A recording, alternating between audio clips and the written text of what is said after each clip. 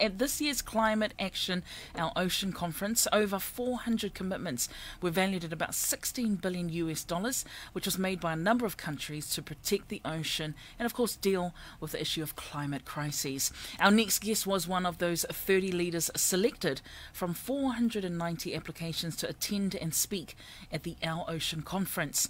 Uh, he is a current AUT PhD candidate focusing on Pacific Island coastal reef fisheries and is also the co founder of a new NGO, Te Ngaru Tū o aiming to improve environmental conservation and boost rehabilitation efforts. So, with that, I say kia orana and welcome to our Ocean 2022 Pacific Youth Delegate, Antony Vavia.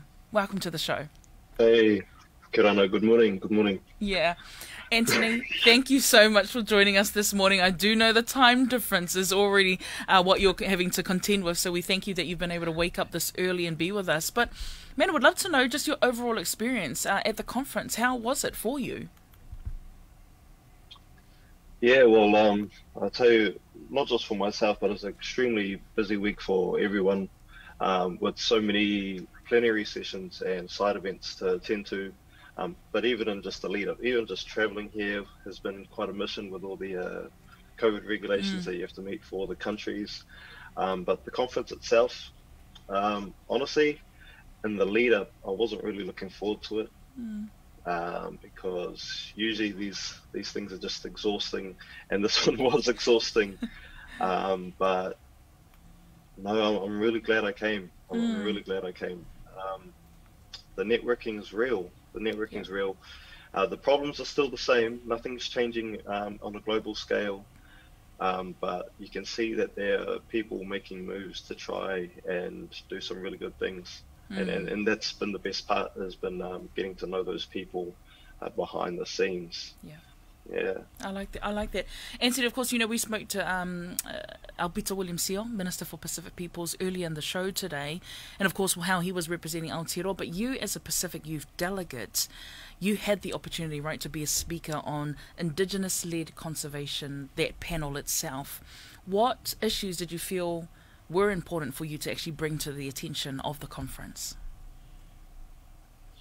Mm.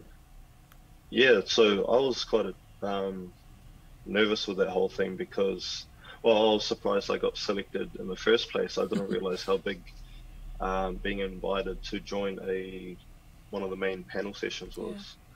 Yeah. Um, the thing that I was sort of the angle that I came from, or they're hoping that I would direct my conversation Talanoa was um, me being at the nexus between mm. um, a student of, you know, Western science, but also having a, a good immersion in um, a space where traditional ecological knowledge is heavy back home in Mitiaro. Mm. And so I thought, okay, I'm yeah, I'm, I'm happy to talk on that because there's so much conversation about one versus the other, um, but I'm actually a huge advocate for both of them. Um, I don't select one over the other because uh, especially with a rapidly evolving world, we don't have time to just cut out information. And, and that's basically what they are. One, they're both forms of information. Um, you'd be pretty ignorant um, and arrogant if you're you're thinking that one is not important. Um, but mm. they both support each other in a way if we can take the time to bring those together. So that's what I wanted to point out. Mm. I thought it was the elephant in the room um, at the time. So during my talk, I thought, you know, I'm just going to do it. Yep. Potentially stir the pot. Um, you're not going to please everyone, but um, yeah, that's what I wanted to, to bring bring up. That's great. And look, having to uh, highlight the elephant in the room is sometimes the very thing that people need to hear. So I'm thinking, even with the commitment that Aotearoa had made, you know, to the conference and the partnership, are you happy with that? Were you happy with what Aotearoa was representing? Yeah. So I I watched that, and honestly, from just my experience and stuff, I I don't know. I I, I can't mm. I can't comment too much. I, am just a scientist. Uh, whereas when we're coming to these sort of, well, it's part of the reason why I do come to these sort of things is to learn more uh, beyond um, the science. Because even just in our delegation, you've got people, um, you got people in well science, then you've got science communication, you've got policy, you've got maritime security, you've got mm blue ocean economy and all these things. And so when it comes to things like economy and and uh, commitments and things like that, I'm I'm quite um, ignorant to see how, you know, knowing how that all works. Um, so yeah, I, I, can't comment too much on, right. on, that. Sorry. I mean, yeah. if, if not being able to comment on uh, is you something something where you're expecting more because of course you know your background is that you are an AUT PhD, right? You're you uh, you focus on Pacific Island coastal reef fisheries. So, what sort of support are you expecting in maybe that arena?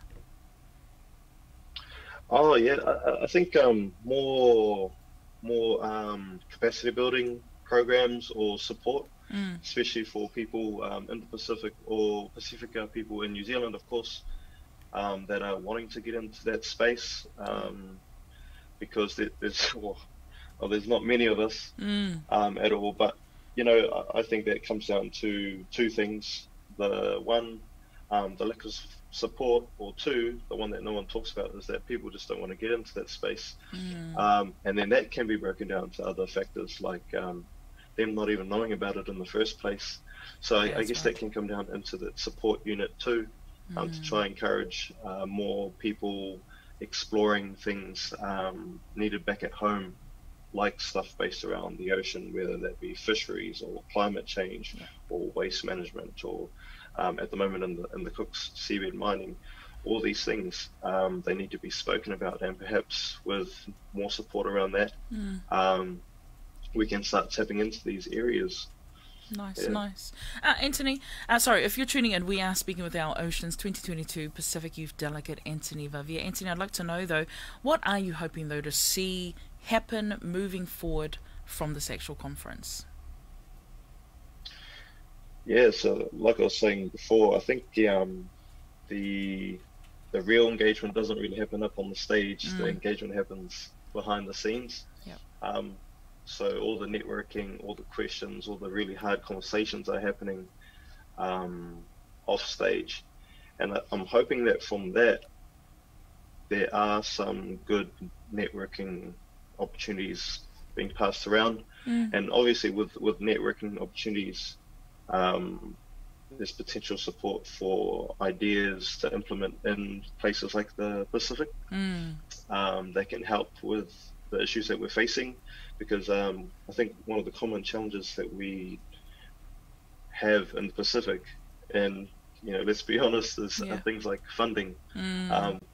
There was very little funding for that sort of stuff. E- even in, in my line of work, um, looking at coastal fisheries, there's no money involved with that. So scientists don't, you know, marine biologists don't go do it because there's no funding for it. It doesn't produce much mm. or mm. anything. Um, so even even in other areas, especially in the Pacific, it would be um, good to have yeah. um, either knowledge transfer um, or program transfers or funding transfers going on, um, some solid some solid um, partnerships going on between NGOs yeah. Um, or even between governments to help develop infrastructure to improve mm. our marine environment throughout. Nice. Yeah, that that'd be that'd be really good rather than just yep, yep, and talk about it, actually get it done, that'd be pretty good. Absolutely, it's obviously walking the talk, right? And I think Antony, when you being a youth delegate, you know, you are the next generation. You are the generation to really to really see, hopefully, the change that we're wanting in regards to climate action. But any sort of while you were there, uh, any sort of standout moments, any speeches that sort of spoke to you and thought, yeah, look, we are actually on the path to something to to change.